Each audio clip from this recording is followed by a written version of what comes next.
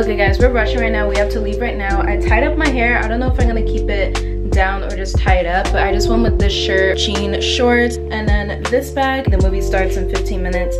So I'll see you guys once we get there.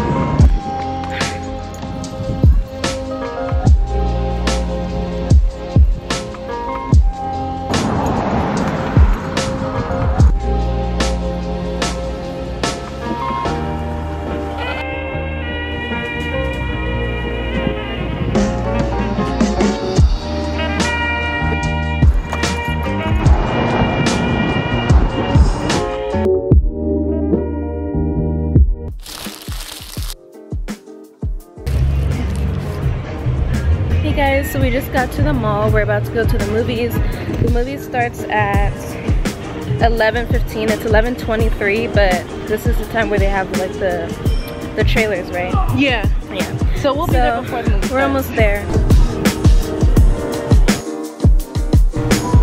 This mall is so pretty.